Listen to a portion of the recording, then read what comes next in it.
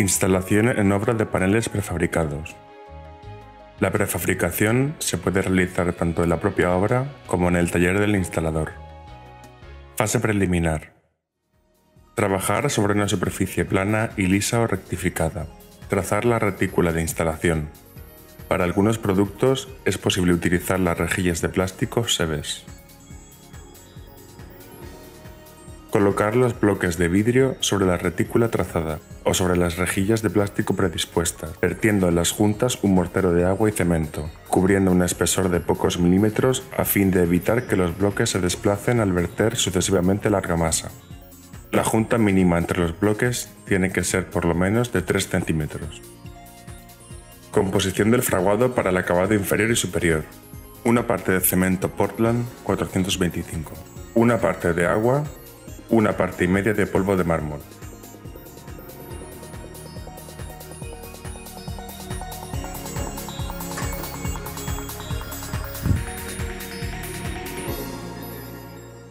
Base de instalación. Composición Portland 425 para la instalación. Una parte de cemento Portland 425. Una parte de arena. Una parte de grava. Y suficiente agua para obtener una mezcla densa. Realizar un primer vertido de argamasa para garantizar que las varillas de armado que se colocarán sucesivamente queden a una distancia de 20 milímetros respecto a la base.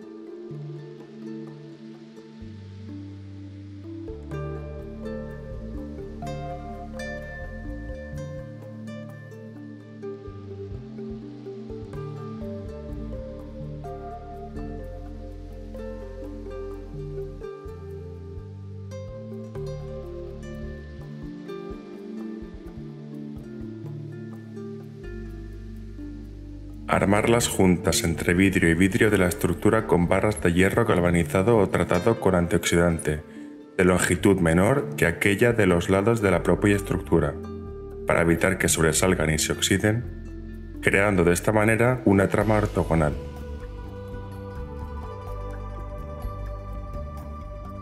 Si el panel estuviese sostenido a lo largo de dos de sus lados, introducir primero los hierros perpendiculares al apoyo y después los otros. Comprobar que las varillas estén colocadas en el centro del espacio, para evitar que puedan tocar los vidrios.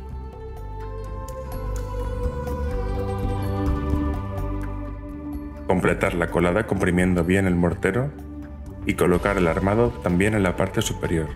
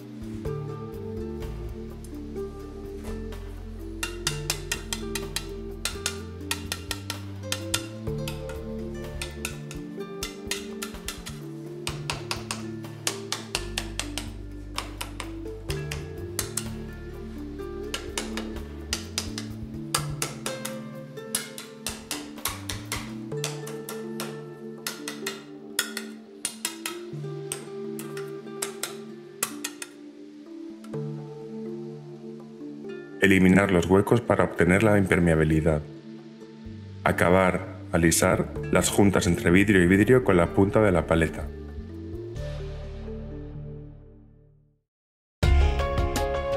Fase de acabado.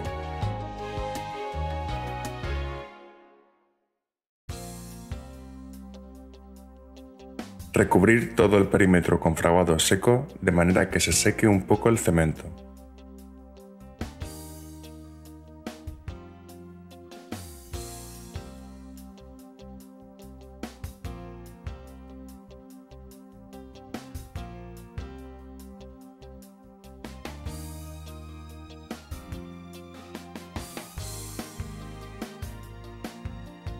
Eliminar con una paleta más pequeña la parte superior, sobre todo la grava en exceso para poder obtener un mejor acabado.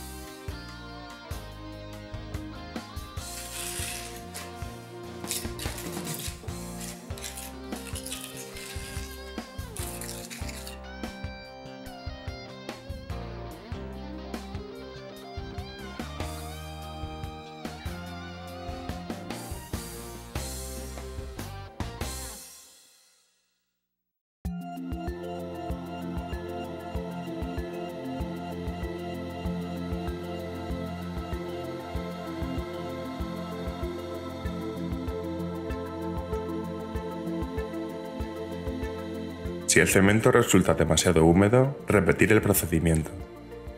Sin embargo, no se debe exagerar para evitar que el cemento se quiebre. Tener en cuenta los factores ambientales, como por ejemplo la humedad y la exposición al viento, antes de desarmar el panel prefabricado, que en todo caso no se debe realizar antes de pasados 5 días desde la colada.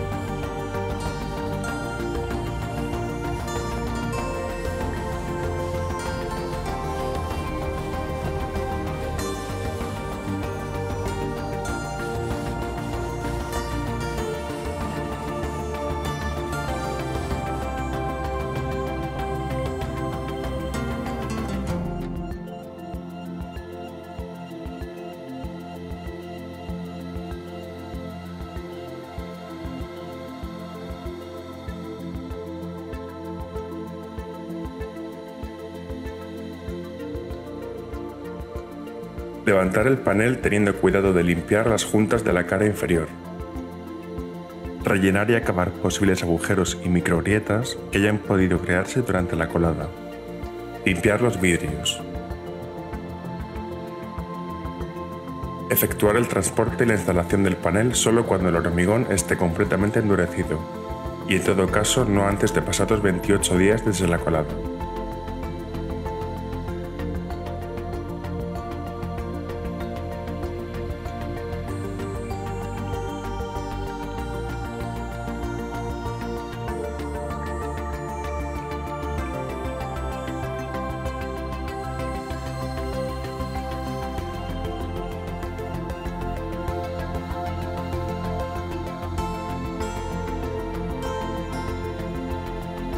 Para eliminar los posibles halos y manchas de cemento endurecido sobre los bloques de vidrio, se puede utilizar ácido clorhídrico, ácido muriático, productos anticalcáreos o similares, o ácido acético, por ejemplo, vinagre de vino blanco.